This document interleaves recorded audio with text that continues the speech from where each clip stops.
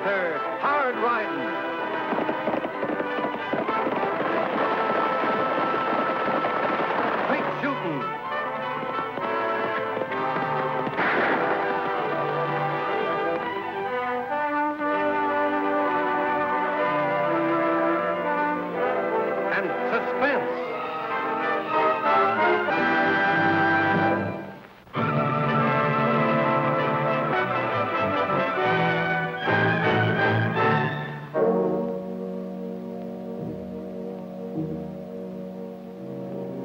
world outside has changed in ten years' Tom. It's not going to be easy starting over. No, sir, I don't suppose it will be. I'm not going to give you a lecture. You're an intelligent man. During the years you've been here, I've learned to know you pretty well. You're not the sort to make the same mistake twice. You can be sure of that, sir. I've written this letter to an old friend of mine. If you feel like it, you can go see him. I know he'll do whatever he can to get you started off on the right foot.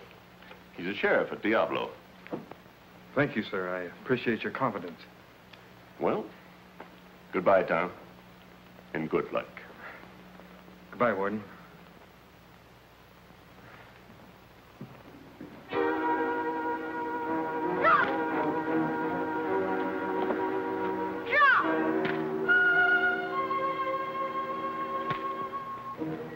What on earth do you think you're doing, Tag? Watch me beat him to the jaw. Jaw! Look at that. Right through the heart. Good shooting, huh? No, Tag. I wouldn't say that was very good shooting.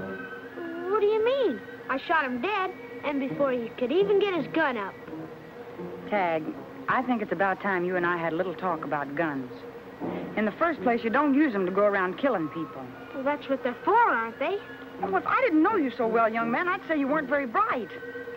An expert uses a gun to protect lives, not to take them. It's a defense weapon, Tag. Now remember that. Well, how are you going to defend yourself if some varmint draws on you without you beating to it and killing first? I'll show you. Pull that rope. Gosh. See what I mean? Sheriff!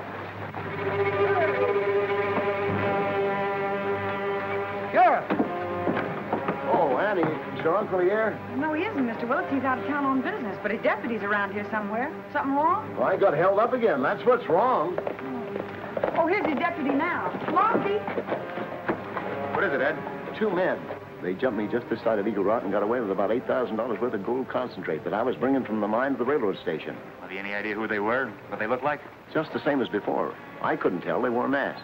As they were going away, I took a couple of shots at them. I got the horse, and I think I nicked the other fellow's hat. Leastwise, it fell off.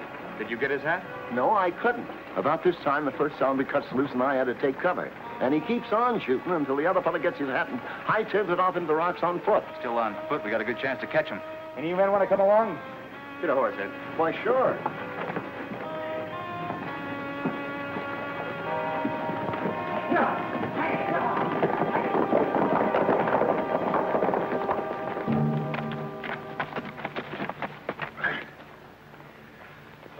Have to walk if this horse is going to drop dead on us.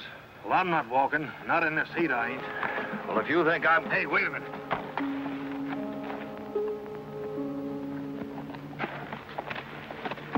Stay here, Jim.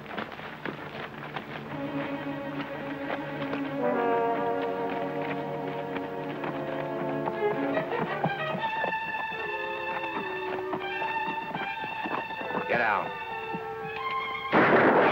I said get down. Next time I'll shoot six inches lower. Get going.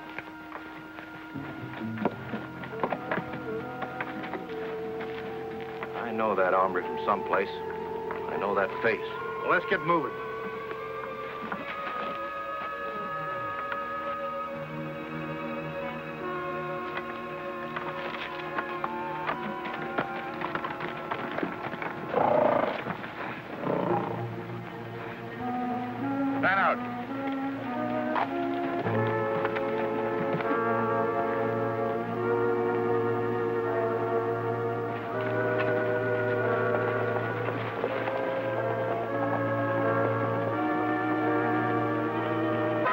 Get hands up. What's this all about? This is one of them, all right. Look at that bullet hole I put through his hat. Where's your partner? What partner? I don't have any partner. I was held up back there on the trail and the fellow stole my horse. I don't know what you fellows are talking about. I was on my way to Diablo to see the sheriff. You're going to Diablo, all right, and you're going to see the sheriff. I don't know what it is you fellows think I did, but whatever it is, you're wrong. Maybe, but I don't think so. Now, wait a minute. Don't everybody go getting excited. Lofty will find them. He'd better find them. This thing is getting kind of regular. $30,000 worth of gold in the last month. Let's get out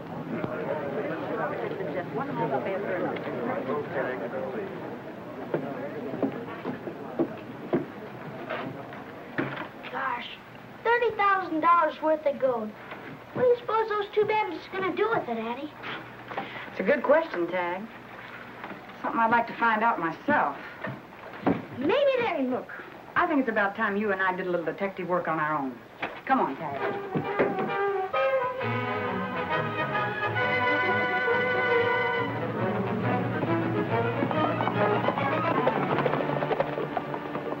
Hi, Phil. Hi, Phil. Hello, Annie. Hi, Tag.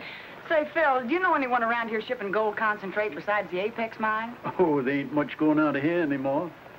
Hey, the Bolton boys are shipping some. Dan and Jim Bolton? Yeah? I thought their diggings played out a long time ago. What's on your mind, Annie? Just curious. Thanks, Phil. All right, Annie. Bet I know what you're thinking. I'll bet there isn't a grain of gold in the Bolton mine. Come on, we're going out there and have a look around. Right.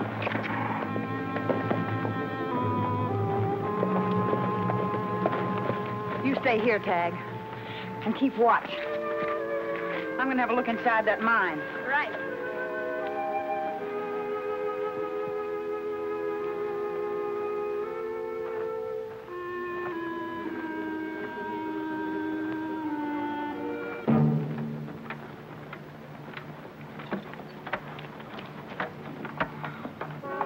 Jim. Now I remember him. Malloy. That's who he is, Tom Malloy. What are you talking about? The guy I took this horse off of. Tom Malloy. We did time together about five years ago. What do you reckon he's doing out here? I don't know. He's doing a long stretch for safe robbery. I thought he was still up there. What are you taking the saddle off that horse for? We gotta get rid of it. I don't want anything around here that'll tie us up with Malloy. That's a good idea. But we could keep the saddle. No use in losing that. I'll hide it where nobody will find it.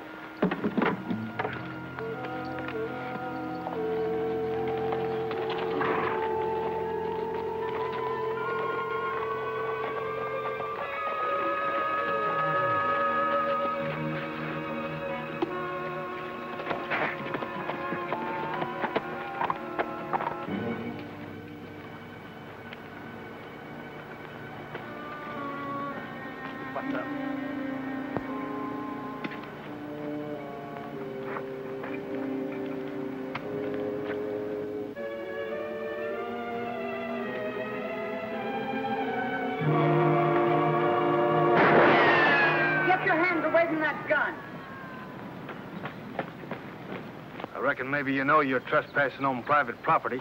That's right. But I was just looking for the two men who held up the gold messenger. What made you think you'd find them around here? Just a hunch, maybe. Yeah, we thought they might be hiding in that mine. Well, why don't you go ahead and have a look? I've already had a look. Tag, go get the horses. It's kind of dangerous to turn your back around here.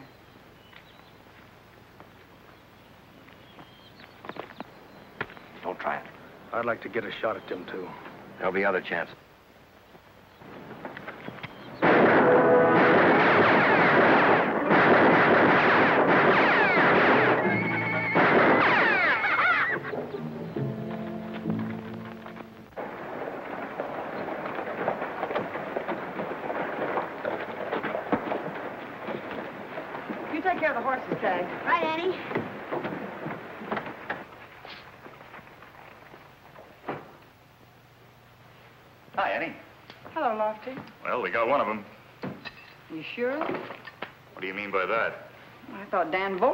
Brother were mixed up in this thing somewhere. Why Dan Bolton? Well, I'll explain it while I make us some coffee. Come on.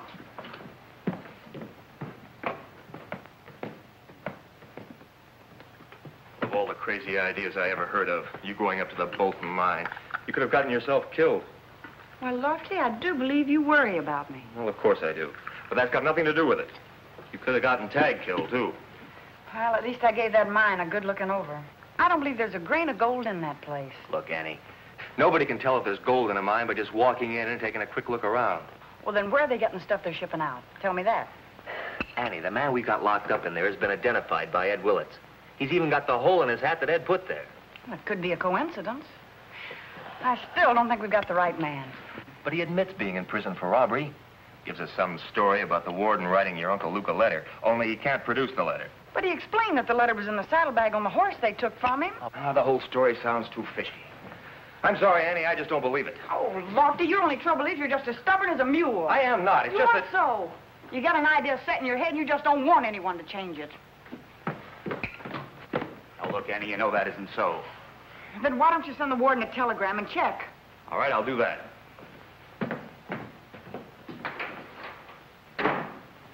Miss Annie, Yes? I heard you mention Dan Bolton a while ago. Yes, do you know him? We were in prison together. He served out his time and got out about five years ago. Well, that's about the length of time he's been around here. That fellow that took my horse, there was something familiar about him. I seemed to recognize his voice.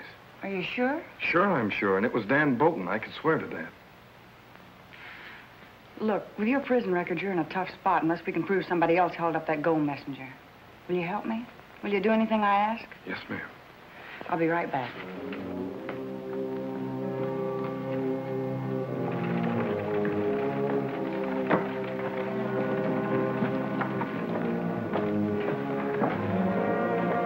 Oh, Bert!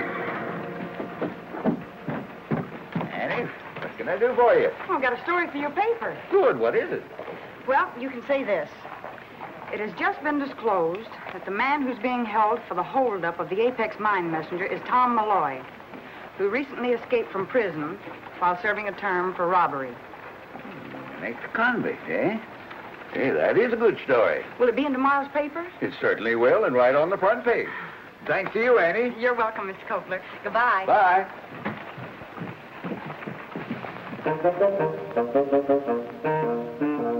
Oh,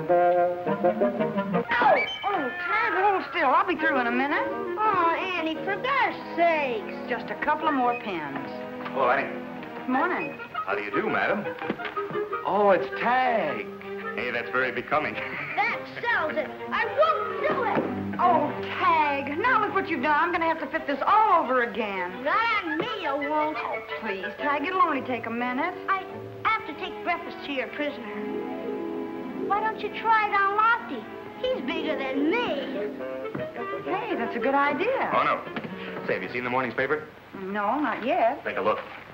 The man we got locked up in there escaped from state prison. No, really? Now, you see, Annie, a man's judgment is better in things like this. Why, I knew he wasn't telling the truth from the minute we nailed him. I'm sorry I argued with you, Lofty. I should have known that you're much smarter about such things than I am. Now, I didn't mean that, Annie, and you know it. You're plenty smart about a lot of things. But dealing with crooks is a man's job. You can't be sentimental. That's right. And I suppose that's why you're such a good deputy sheriff. Lofty!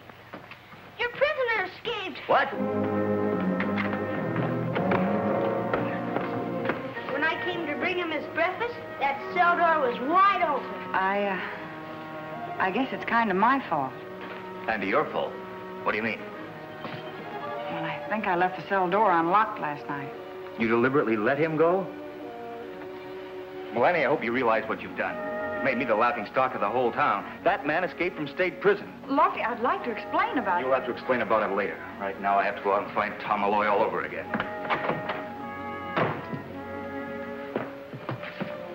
Gee, Lofty's mad, Annie. I've never seen him act like that before. it. You'll get over it. Go on in and eat your breakfast, Tag.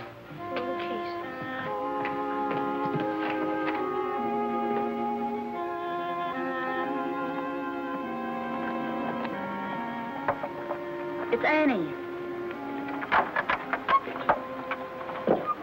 Everything's all set. You're sure you know what you're doing? Yes, ma'am. I thought it all out. Good. Good luck to you, and be careful. Thanks, Miss Annie. I'll bring back that letter that the warden gave me.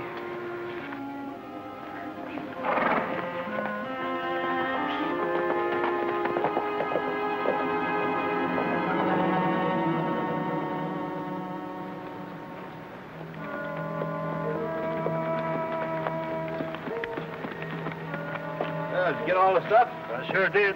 I got some information, too. You know that Tom Malloy you taking the horse off of? He wasn't released from state prison. He busted out. Yeah? Yeah, and you want a real laugh? They got him locked up in the Diablo jail for robbing the gold messenger. well, this ought to take some of the heat off us. You know, I was kind of suspicious of that guy. When I knew him five years ago, he still had 15 years to serve. So he busted out, huh? Yeah, but it didn't do him much good. They caught up with him again.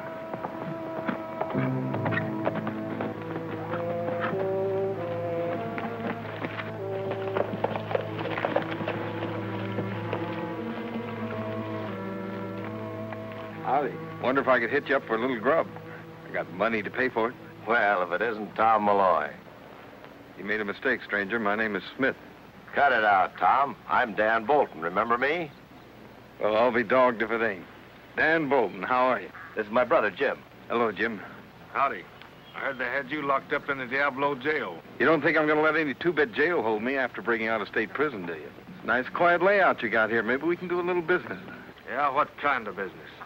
Like I say, I got a little money and need a place to hide out. Sure, why not? Wait a minute, Dan. Are you crazy? They're looking for this guy. Tom's an old friend. You don't think I'd turn down an old friend, do you? Take care of your horse back at the corral there, Tom. We'll rustle up some grub. What's the idea of letting an escaped convict hold up here? He's going to get us into a mess of trouble. Take it easy. We can use this guy. He's one of the best safe experts in the country. And with what we've got on him, he'll have to do anything we say. Well, I still don't like it. Jim, we've got a pretty good setup here, Tom, if you'd like to string along with us. Nah. I don't know anything about mining. It isn't hard to learn the way we do it. What do you mean? Shut up. You talk too much. Tom's okay. Stop worrying about him, Jim. What's the deal? Well, we've got a gold mine, see? Well, there isn't any gold in it. Two claims. So? Some of the mines around here have got lots of gold. They ship the concentrate down to the railroad station. But on the way, they're relieved of it. I'm beginning to understand. Gold concentrate isn't easy to get rid of. That is, unless you've got a gold mine yourself. Then it's easy. It just comes out of your own mine. Pretty smart. I wouldn't mind being in on a deal like that. You never could learn to keep your mouth shut, Dan. That's why you had to spend five years of your life in the pen. Relax, Jim, relax. So what's your idea? Well, when Jim went into town this morning, he found out there's another shipment going out early tomorrow morning, right after daylight. Being Sunday, they don't figure to be bothered, right? That's right. We can knock them over in Sidewinder Pass. They won't be expecting us there. Sounds okay. Count me in. Well, it means an early start. Better turn in. In here? Right. Good night. Good Night.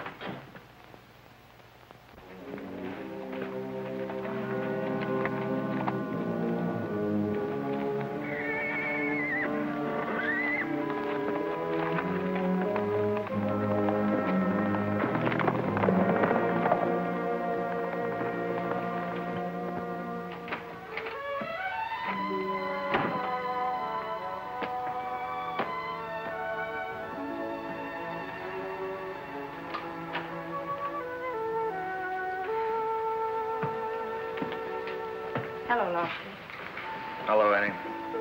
I've, uh, I've got a pot of coffee on the stove. You're not going to square yourself with a pot of coffee. I've been out combing those hills since early this morning. Annie, how could you have done such a crazy thing? What's your uncle going to say? Well, if it works out the way I think it's going to, he'll say I'm pretty smart. Want to hear about it? No. But I'll have the coffee.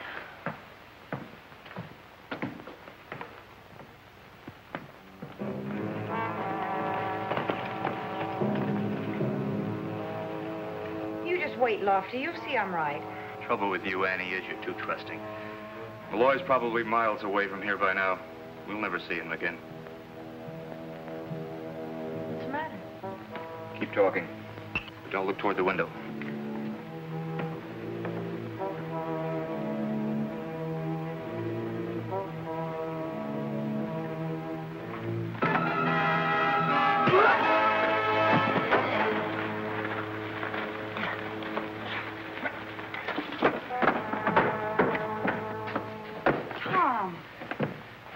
Sorry, ma'am.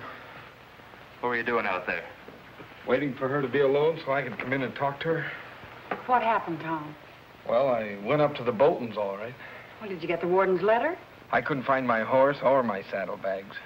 Still sounds fishy to me. I don't blame you for that. But you've been right all along, Miss Annie. They're your men, all right. You mean they've been pulling these holdups? Every last one of them. Not only that, but they got another one planned for tomorrow morning. Well, I'll go up and bring them in. No, wait a minute, Lofty. You haven't got any evidence yet. You've got to catch him in the act. Yeah, that's right.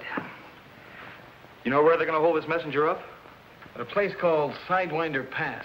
They found out he's going through there tomorrow morning at daybreak. I'll be there before daybreak. You go back to the cabin. I'll round up some men. Well, there's nothing in any of this stuff that'll tell us anything.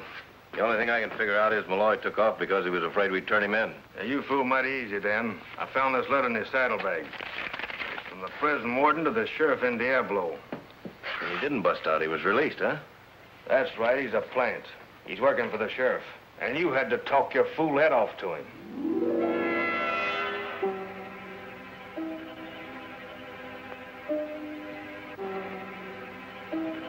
They ought to have been here by now, Lofty. You don't reckon that Malloy double-crossed you? No, I don't think so. Well, they might have got the messenger farther up. Now, they couldn't have. Got the road covered all the way to the mine. Well, maybe they'll be along. This way, Tom. Are we going to Sidewinder Pass? It's that way. We changed our plans. Yeah, we forgot to tell you. We're going to knock over the bank in Diablo. But it's Sunday. Won't that be closed? Yeah, we figured on that. But you're pretty good at cracking safes. We got everything you'll need right here.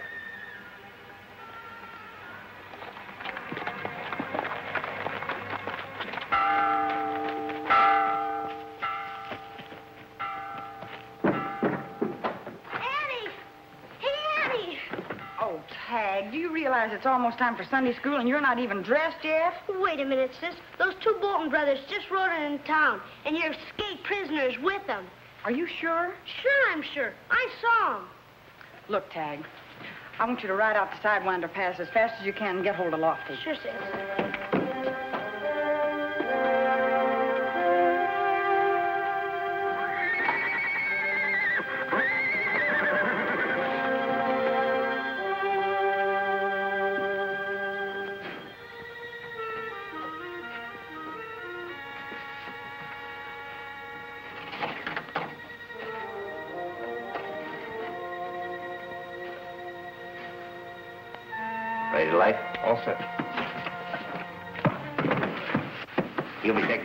Thing blows.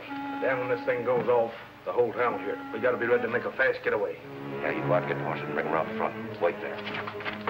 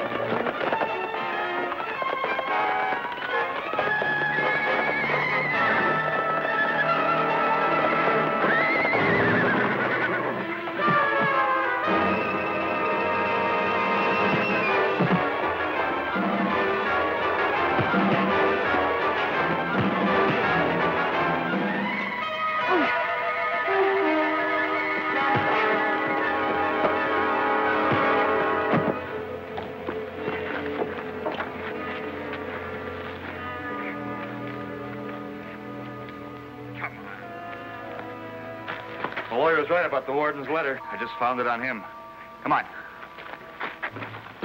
Hey, Eddie, I met Lofty right out at the edge of town. Good work, Tag. Now hurry along and get dressed or Sunday school's going to be over. Go on.